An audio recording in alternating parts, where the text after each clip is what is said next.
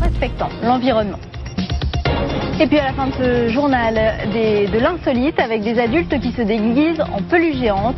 Le mouvement débarqué des États-Unis arrive en France, rencontre avec les First Tweeters. First Tweeters, c'est notre mot du jour. Les First Tweeters, ce sont des adultes qui se déguisent en peluche géante. Ce n'est pas une blague, mais un mouvement insolite créé dans les années 80 aux États-Unis. Preuve de l'ampleur du phénomène, plusieurs centaines d'adeptes se sont rassemblés aujourd'hui en Allemagne à l'occasion d'une convention européenne.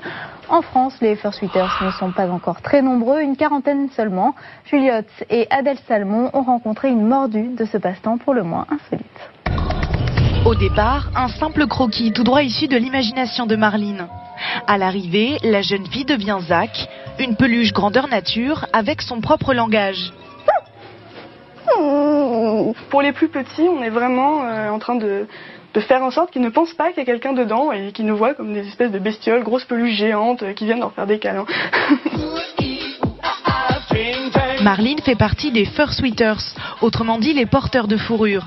Un mouvement venu des États-Unis et inspiré des cartoons américains. Mais pas question d'enfiler les costumes de Bugs Bunny ou Droopy, les Fur Sweaters préfèrent se mettre dans la peau de personnages créés de toutes pièces. Cet après-midi, Marline retrouve des amis, eux aussi Fur Sweaters. Ils sont venus incarner leurs personnages dans un parc, et quand deux immenses peluches se promènent, la magie opère.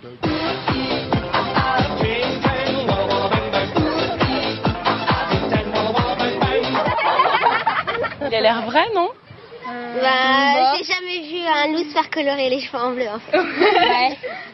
Et entre créativité et amusement, Marline y trouve son compte. C'est vraiment du théâtre vivant à la rencontre des gens et euh, c'est vraiment quelque chose de merveilleux.